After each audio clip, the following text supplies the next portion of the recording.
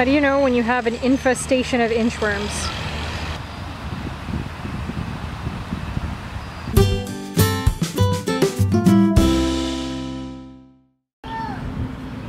Oh, what's he doing, Jay? Is he uh, inching? I'm inching. I'm inching.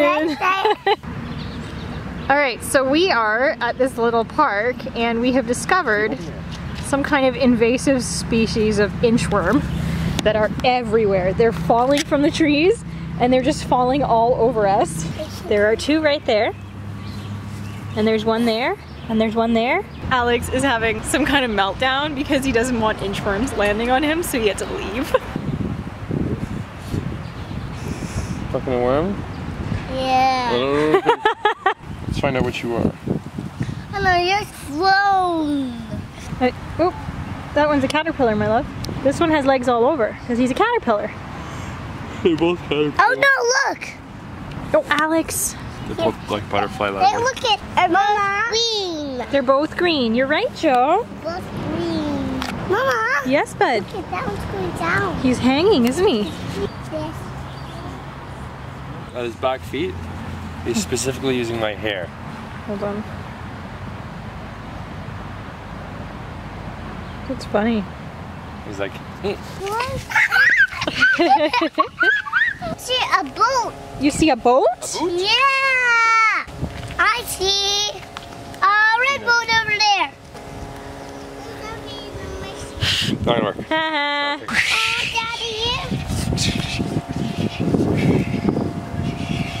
Daddy. Both of them are peeing. Inchworms think I'm a nice boy. Inchworms think you're a nice boy. That's why they love me. Inchworms are free fun and when they go on you.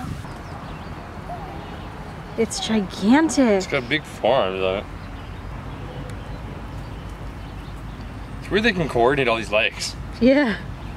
I can't even manage with two. I don't like spiders at all. What? Whoa. I got a present for y'all. What is it? Look like this. Oh, good. Here, Joe. Present! Wow. you know why I gave you a present? Ow, oh god, that present hurts a lot. So I haven't really vlogged much this week because um, everything kind of got crazy after we moved in. So I guess that with ripping out the carpets, we didn't really know if we should put stuff upstairs or not, and so everything got piled in the dining room. Kind of a split second, very haphazard decision. I did, yeah, very regrettable decision. So instead of having just one floor of the house messy until we figure out the carpet situation, right now we have both of the floors messy, and so, you know, Alex is off of work today, and we're making this a day about the kids. Tomorrow, we are having Nana and Grandpa come over to watch the kids so that we can get a bunch of stuff done. But I mean, you know, people have been asking to see the house, so I'll kind of show you this messy place that we're living in right now. Daddy's, Daddy's cleaning everybody's feet vigorously. This is the living room currently. We have one of our couches here. If you remember, our couch was like a sectional and the other piece didn't fit anywhere. And so I'll show you where that is. The other couch is there. The TV's not set up, so the kids were just watching a show on the computer right now. These, you probably remember them from our last place. I actually think we're getting rid of them and getting something else because I just find like three huge pieces of furniture in a row just too much. So yeah, probably getting rid of those. Um, and then this room is probably going to be painted a gray, and then I saw some really pretty curtains that are like white with little tiny blue flowers on them. Then the dining room, which is the place that got the worst of the craziness in the house. It's basically just crazy. It's not usable at all. This is something that I got on Kijiji a couple of months ago with plans of redoing it to put in this dining room and I just never got a chance yet. I'm going to sand it and I'm going to um, paint it probably either blue or green and distress it. I'm changing all of the knobs and handles to rope pulls. So yeah, that's probably gonna be on that wall in the dining room. And then I don't know what else is gonna go in here because I thought the room was smaller. And if you look at the size of the table, compared to the entire room, it's really not a lot of furniture to have in this room. So I have to figure out how to make it look good. The kitchen is probably the thing that's the most unpacked in the whole house. And if you guys remember from my first house tour, a piece of their kitchen was right there like just standing in the middle of the kitchen and I did not like that at all. So I got rid of it and then I realized now there are no drawers in the kitchen. And so I'm just gonna get like a dresser, but dress it up nicely and put it on this wall. And so as of right now, all of our kitchen stuff that belongs in drawers is kind of still in boxes. Those are all empty boxes and recycling. And ooh, the best discovery, the fridge doesn't work. Or rather that it does work, but it doesn't work in a very energy efficient way. If you hear, it's on right now, like it's actively cooling and that's kind of what it's doing all the time. It doesn't ever stop. So possibly tomorrow we need to buy a new fridge which is great because we already need to buy a new washer and dryer. As you can see we started painting the kitchen. We're painting all the trim white. This has not been finished yet. In fact none of the trim has really been finished yet except for this one piece right here. So this is what it's going to all look like after. And then I'm to take this very very non-vegan border off of the wall with the milk, butter, and eggs that are all up there. This is weird. So I thought that the people that had lived here before were trying to encourage some kind of like Cinderella mouse through the house situation. And then I realized that this is actually a corner. So like if you see the, the stuff goes around the trim. And so it's almost like there was a wall going this way and actually you can feel it's slanted inwards right here. So it's almost like this portion of the house from here onwards was different. Like it didn't exist as it is now. In the front hall, right now I have my chest and my sewing table here, but they will not both be here. There is going to be just the chest. The sewing table is probably going to end up in the dining room just because there's no furniture in there and it's nice. So the stairs have been completely stripped of carpets and nails and everything else. And Alex has been researching how to sand the floors or what we should do with them. We got a quote for carpet upstairs today. It was quite a bit.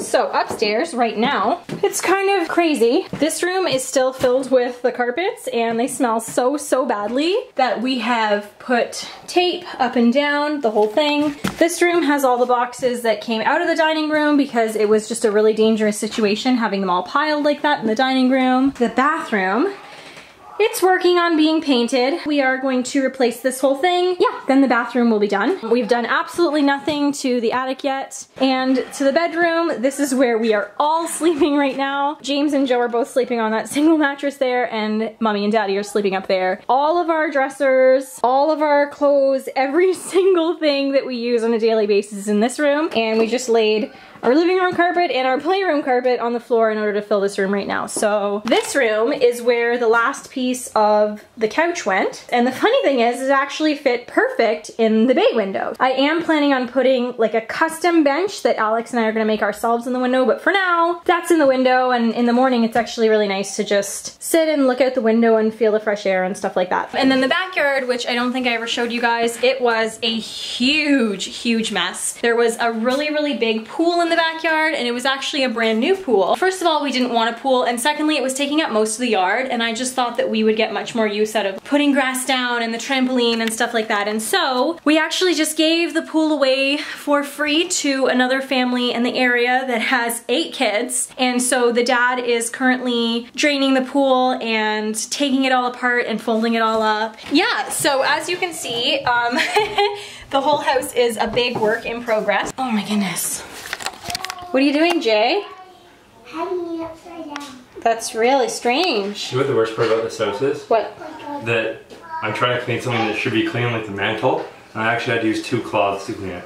Because it's so brown, disgusting. And I'm just pushing on dirty water. I mopped twice with cleaner, once the steam mop, and it's still dirty. I mopped twice in the other room with a steam mop. I Okay. can do it a third time. Alex, th this will give everybody an idea. Here is the wall. Which is the way that all the And walls work. that's how all the walls in the house were, because I have not washed this to even prep for painting it yet. I've washed. I've already washed all of these walls, and these walls are still dirty. I ripped out carpets. I had to put on a, an N95 asbestos mask. I just realized I was breathing in people's skin and hair. like I was saying, there hasn't been much progress made other than a little bit of painting in the kitchen, um, cleaning out the whole kitchen, starting to unpack the kitchen.